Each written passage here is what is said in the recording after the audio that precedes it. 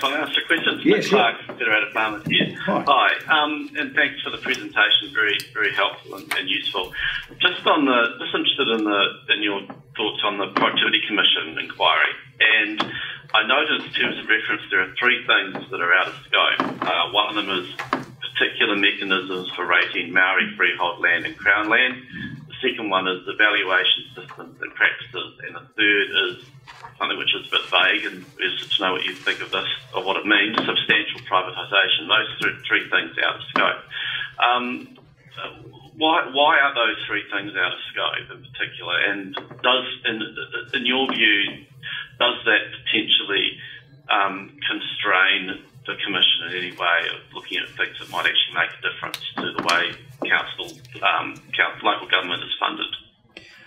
Uh, well, I think the first thing I'd say is that the those exclusions were put in place by the government, not by us. So I, I really can't understand. uh, answer exactly. But I think it'd be fair to say that we think there's, pl- even with those excluded, there's plenty for uh, for the productivity uh, commission to chew on. Um, uh, besides those, um, the last one you mentioned was. Um, uh, Oh, not privatisation. I think that just refers to the fact that the government has said there are things like, um, you know, in, in, the context of um, uh, Minister Mahuta's talking about what reforms there may be in the water sector, she has made it very clear um, privatisation is not uh, is not a, a, even a starter. So I think that's what that is um, referring to. It's just reinforcing the fact that that's not the road the government's prepared to go down.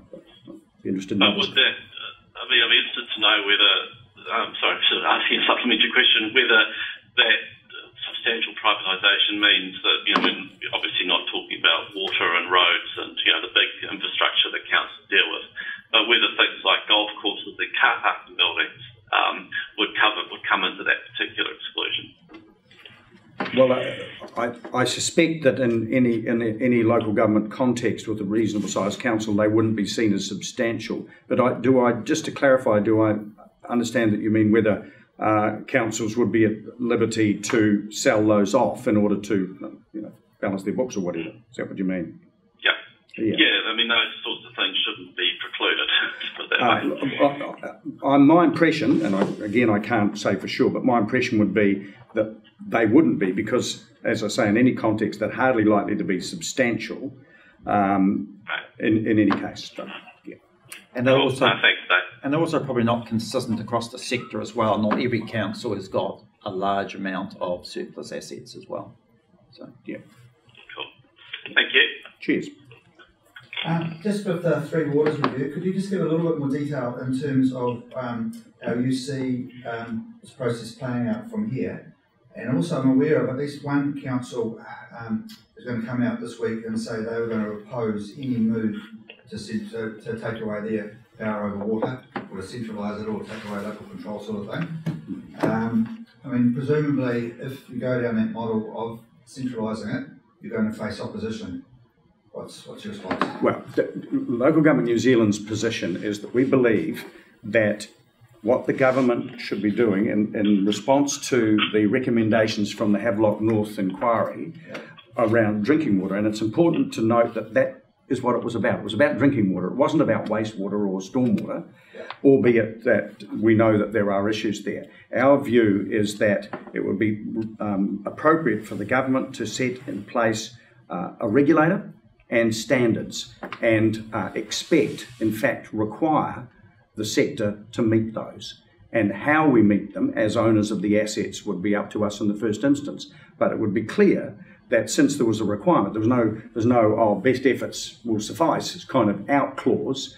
Uh, if it would be clear that if uh, a council didn't meet them, then the government would would be would expect to be able to step in and do something else about it. But our first position is. Uh, historically, we have um, provided, uh, councils have provided water services uh, very well for decades. Uh, if there's a need to lift the standards, and clearly is, given the Havelock North inquiry, then put the standards in place, put the regulators and regulations in place, and say meet them and give us a time frame, and let us respond.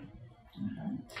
And presumably, the government is going to lift the, the standard of water that has to be supplied that's going to be quite an expensive process for some councils and authorities, isn't it? Well, it's not clear. It's not clear that they will lift a standard. They may just expect that the, the standard will be enforced and will be uh, complied with. The, the standard, um, if, uh, if, if, for instance, the standard is demonstrably safe, that's what it's been all along. It's just that um, the incentives haven't been there for councils to uh, meet it because of, because there was an out clause. Uh, and um, it'd be fair to say that um, uh, enforcement by um, central government agencies has been was laxed, uh, well, well, spotty, put it that way. In some parts of the country, it was working pretty well. In other parts, clearly, it, it, it wasn't.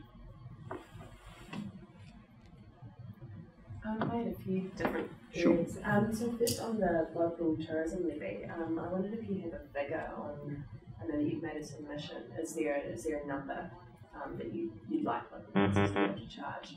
This is this is with regard to a bit kind of bed tax. bed Yeah, tax, um, I'm not sure that we No, do. we, we haven't worked through that uh, detail. What we'd like to get done first is, is, is agreement to the principle and then work through with the government on um, some options. So what our next step would be is some case studies around what a suitable level of a bed tax would be. But of course that may vary if you're, if you're in Queenstown or Auckland relative to Wellington, for example.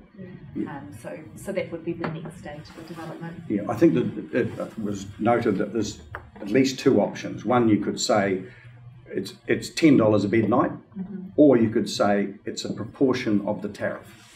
And in which case, uh, if if a, if a hotel was charging five hundred dollars a night and the proportion was was five percent, then it would be twenty five dollars. But if a, a, an Airbnb charging a hundred, it would be would be Yeah. five. I think Queenstown have started to do a little bit of work around what that, that levy could be, um, but that would be very much the next stage of development. And um, we're quite open to having some, um, some, I guess, some structure around that. In other words, we wouldn't want it as an unlimited pool. Uh, there would be some probably ceiling limits around that too. It's an important part of the confidence around it. Mhm.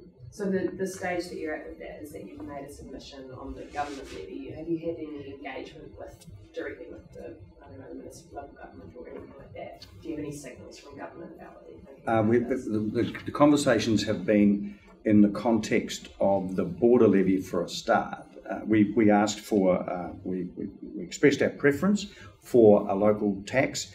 Um, the government was already doing work on a border levy, which we support. But what we're saying uh, and now engaging with the government on is the need for additional funding lines through uh, a local levy. Some of that may well be picked up in the Productivity Commission funding inquiry as well. Mm. But we've just um, popped this, our submission went in just a few weeks ago, so everybody in the press are working that through. Yeah. The Minister has said though he feels a package of funding options is important and I think they state that in their, in their submission document. They refer to the need for a package of funding options. Um, and then on the, um, the LGFA, um, so the alternative debt vehicles for Auckland Council have been discussed before at these meetings that I've been to. Um, and with the increase, the, the debt track that, that a lot of these other councils are on, are you considering those for other councils as well? Is that something that they might need?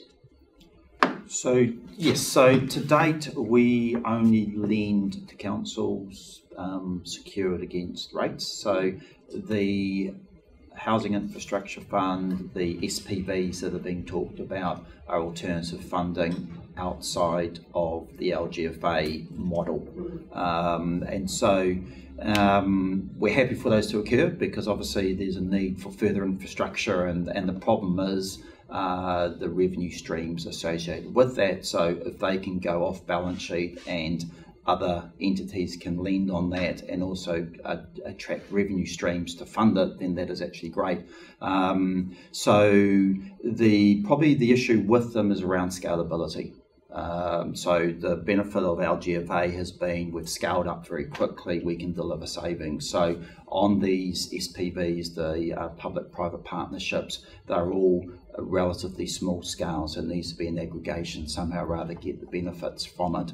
Um, but but we think it's good. We also think it's good from the fact that with these sorts of vehicles, um, it's a further step towards user charging as well too, um, which is what we need as well. So that if a new uh, housing area is going in, then those who are buying those houses are actually paying fully for the services going to those houses as well too. So so we welcome it. Um, the the as I said, it's a scale issue, and whether or not it can be rolled out to the rest of the country, or if that scale will preclude you know a number of councils from participating in those schemes.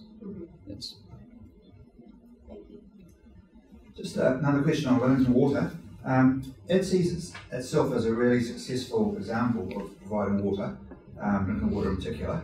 Um, and I think they suspect that the minister might be looking at them in terms of a nationwide sort of model, to work elsewhere. I mean, what's your view of Wellington Water and is it a potential nationwide model? Um, well, what, what Wellington Water is an, is an example of the fact that different uh, solutions will be appropriate in different parts of the country. So, uh, from all accounts, Wellington Water is a very successful model for Wellington. Yeah. Uh, and I know that certain other, some other areas of the country, uh, groups of councils are looking at what they might do. But our position is that it should be up to the councils or groups of councils to respond in the in, to the requirements of, say, regulation or standards in the way that best suits their community and their circumstances.